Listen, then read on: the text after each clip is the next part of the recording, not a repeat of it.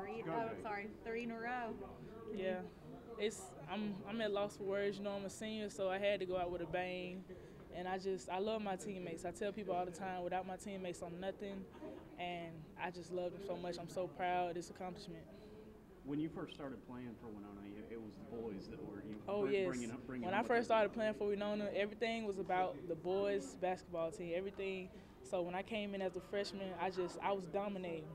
Made it all the way here. Me and my team, we got all the way here. Fell short, and I just I vowed to myself that I wasn't gonna feel like that no more. So three in a row feels great. Well, this is obviously this is it. This is it for you. Just can you talk about just the impact that Coach Bell has had on you? That's like that's like a dad to me. I tell people all the time he's more than a coach. He's like a father. You know they don't believe me because they don't know. You know we've had endless AAU trips. You know he's taking me places, taking me everywhere around the country, and I just can't I can't thank him enough.